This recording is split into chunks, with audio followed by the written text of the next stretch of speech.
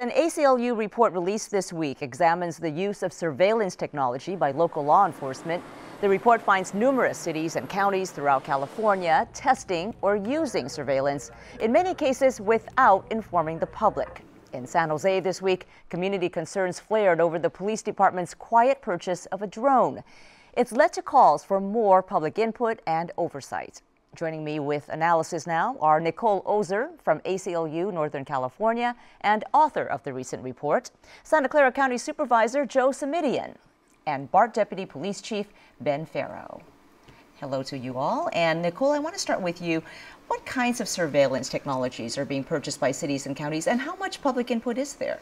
You know, we see cities and counties up and down the state of California spending vast sums of money on surveillance technology, everything from license plate readers to facial recognition to drones, as you mentioned in San Jose more than $65 million.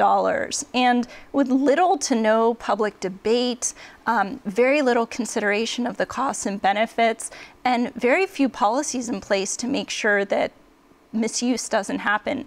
And we're seeing this happen over and over, largely because a lot of local law enforcement is taking advantage of federal funds that are coming down, and they're often sidestepping the normal oversight procedures that city councils and board of supervisors have used for generations to make sure that there's really thoughtful consideration of community issues and that the public knows about these issues and can speak up and voice their concerns early in the process. So, so we've heard a lot about those civil liberty concerns.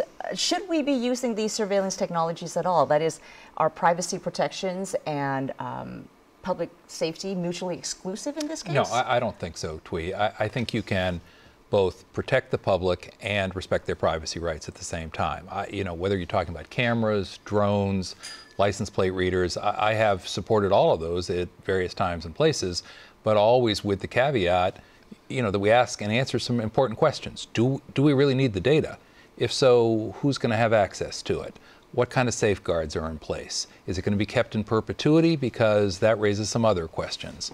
What's the difference between a mass sweep for data for law-abiding citizens as opposed to something that's targeted on folks who actually are likely to be bad guys? So I think you can use, it's not the tools that are the problem. I mean, I'm, I'm, a Silicon Valley guy, so I would tell you it's not the technology that's the problem, it's the way in which we use them. And absent some of these questions and answers that the ACLU report very wisely raises, um, I think you have to expect that there's going to be misuse and abuse. And, and you're actually proposing some policies around this I am. next uh, Tuesday. That's right. On Tuesday at our Board of Supervisors, what I've done is ask that our board refer the matter to uh, the appropriate committee, direct our staff to look at a model ordinance. We're going to start with the model ordinance that the ACLU had. We'll, we'll tweak it. We'll look at other jurisdictions. It won't be uh, exactly what's off the shelf because every jurisdiction is different.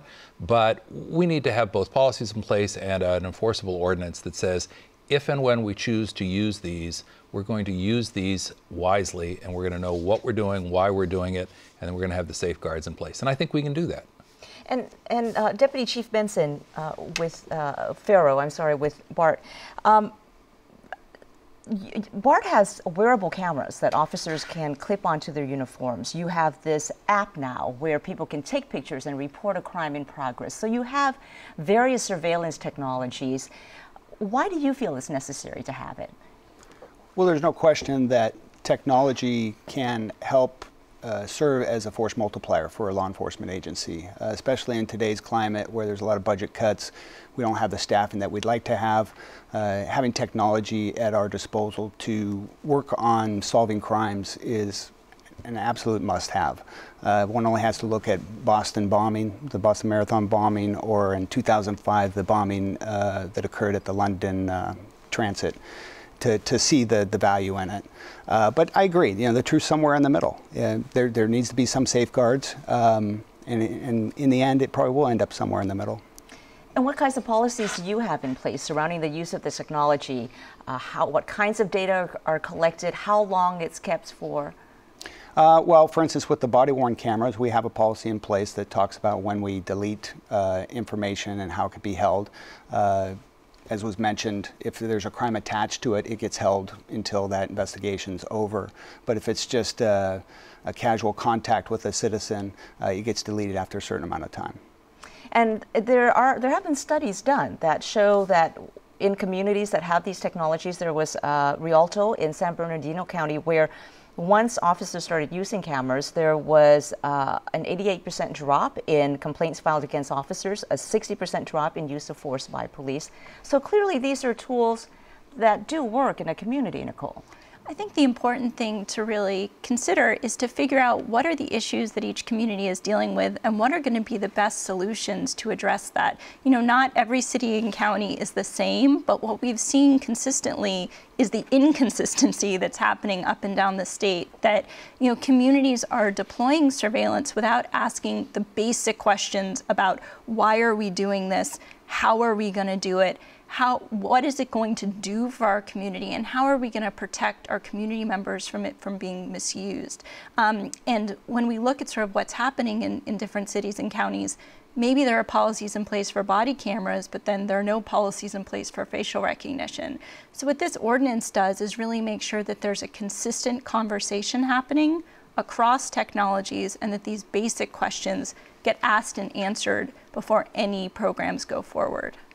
And these issues are coming up amid a backdrop of much broader concerns, NSA spying. Right. And the Wall Street Journal had a report out this week talking about how the U.S. Marshal's Office uh, is using devices that collect data from cell phones, not of just criminals, but law abiding citizens. Well, well, again, it's, it's not just the individual. I mean, you think, well, one piece of data, so what? But when you start to put all of those pieces of data together, so we know not only were you parked in front of the oncologist last Tuesday, but the following Tuesday and the following Tuesday and the following Tuesday, that starts to tell us something about your health situation. Or if it turns out you were parked at the racetrack day after day after day, or if it turns out you were parked someplace you shouldn't be, um, or, or that somebody thinks you shouldn't be, or if we've got that license plate reader at let's say Thuy, you're going to the gun show at the fairgrounds, or that Ben's going to the anti-war protest in Berkeley. You know, click, click, click, and then you assemble all that data, and it has the potential to be misused. So I think you know all of us would say, hey, the potential uses are great, and all of us want to catch the bad guys, and all of us want to deter crime. But we want to do that in a way that is respectful of people's personal privacy. And I think the, the risk is when you put all of that data together, all of a sudden you paint a pretty big picture of somebody's personal life, and if you keep it in perpetuity, the, the risk of abuse goes up dramatically. Well, so give me some specifics here. You would like to see legislation around this. What specific uh, proposals would you like to see in place? How long should data be kept? How sh- uh, what I, kind of data should be collected? You know, I, I, I, when I was in the state senate, I had a bill that said that the data from these license plate readers ought to be purged after six months. I couldn't get that bill off the Senate floor. Why? And, well, because we got pushback from law enforcement as well as the private sector because these folks wanted to keep the data forever. And I kept saying, look, surely there's a sensible compromise between six months and forever. That forever is a long time. Can't we find a time? But you know, if you don't keep the data, then you can't misuse or abuse it. So uh, for me, one of the starting points is collect only what you truly need. Know that you have a purpose. Don't collect it just because you can, and then purge it after some reasonable period of time. But you know, the default has been, hey, if we can collect it all, collect it all, and since storage is cheap, we'll keep it forever. I, I, think those are two mindsets that need to be addressed pretty directly. And we're dealing with incredibly invasive technologies here. We're talking about things like stingrays that, you know, can actually track cell phones of not just one individual that the police might be targeting, but actually hundreds or thousands of phones of innocent people that might be in the vicinity.